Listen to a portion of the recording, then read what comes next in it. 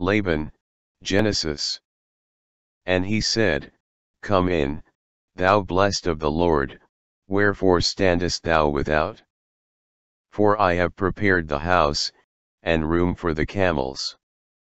Then Laban and Bethuel answered and said, The thing proceedeth from the Lord, we cannot speak unto thee bad or good.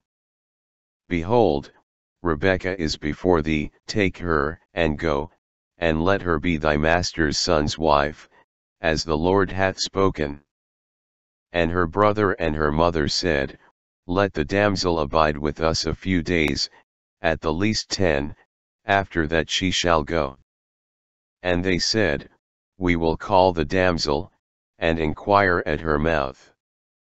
And they called Rebekah, and said unto her, Wilt thou go with this man? And she said, I will go. And they blessed Rebekah, and said unto her, Thou art our sister, be thou the mother of thousands of millions, and let thy seed possess the gate of those which hate them. And Laban said to him, Surely thou art my bone and my flesh. And he abode with him the space of a month. And Laban said unto Jacob, Because thou art my brother, shouldest thou therefore serve me for naught? Tell me, what shall thy wages be? And Laban said, It is better that I give her to thee, than that I should give her to another man, abide with me. And Laban said, It must not be so done in our country, to give the younger before the firstborn. And Laban said unto him, I pray thee, if I have found favor in thine eyes, tarry, for I have learned by experience that the Lord hath blessed me for thy sake. And he said, Appoint me thy wages, and I will give it. And he said, What shall I give thee? And Laban said, Behold, I would it might be according to thy word.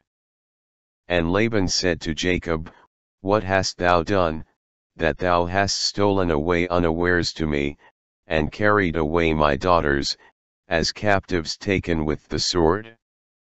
Wherefore didst thou flee away secretly, and steal away from me, and didst not tell me, that I might have sent thee away with mirth, and with songs, with tabret, and with harp? And hast not suffered me to kiss my sons and my daughters? Thou hast now done foolishly in so doing. It is in the power of my hand to do you hurt, but the God of your father spake unto me yesternight, saying, Take thou heed that thou speak not to Jacob either good or bad.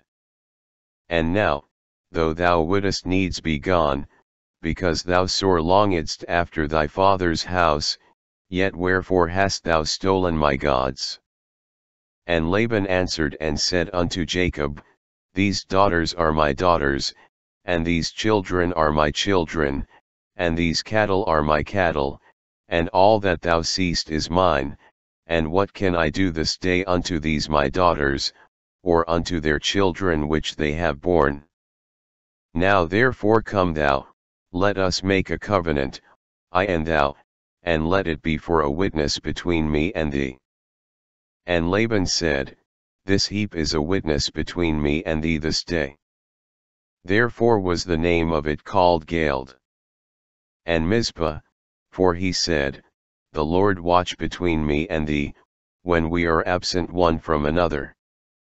If thou shalt afflict my daughters, or if thou shalt take other wives beside my daughters, no man is with us, see, God is witness betwixt me and thee.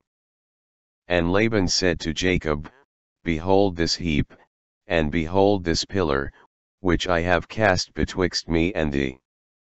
This heap be witness, and this pillar be witness, that I will not pass over this heap to thee, and that thou shalt not pass over this heap and this pillar unto me, for harm.